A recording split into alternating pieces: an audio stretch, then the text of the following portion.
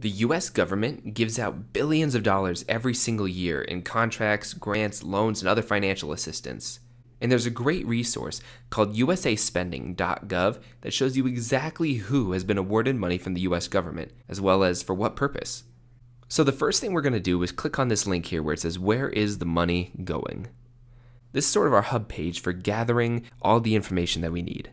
So from here, the first place we want to look is the spending map. This spending map allows you to either just click on a state that you want to see or fill out these forms up here in order to get a more specific look at the area that you're interested in.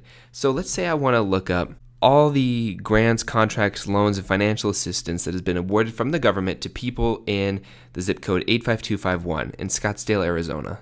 Just go ahead and type that in it's going to show you on the map exactly where we're looking, as well as pages and pages and pages of information with the award ID, the amount, and who received the award.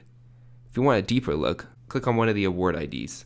It's going to give you an overview of the award right over here, including the date, the total award amount, and who gave out the award to the recipient. So in this case, it's the Department of Defense, as well as recipient information, and you can open these up down here to see all the transactions and sub awards that go along with this as well. So now let's go back to that hub page.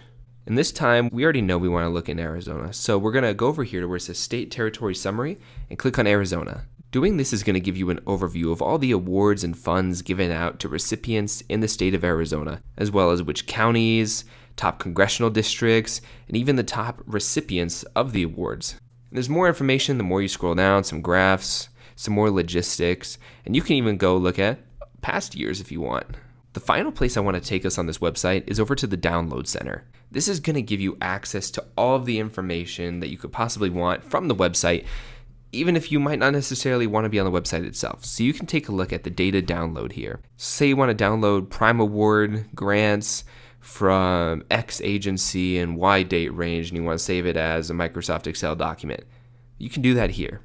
And then you're going to have it with you on the go. You can also take a look at the data archives to see the full data from the website in previous years. Just choose the year that you want, hit go, and boom, it's going to pop up down here with the results for you immediately. Following the data when it comes to grants and loans given out by the US government and who's receiving these funds from them is going to allow you access to a lot of potential story ideas and even information about stories that you might already be covering. So, this is an excellent tool for all business journalists. For more help and information on covering government spending, visit businessjournalism.org.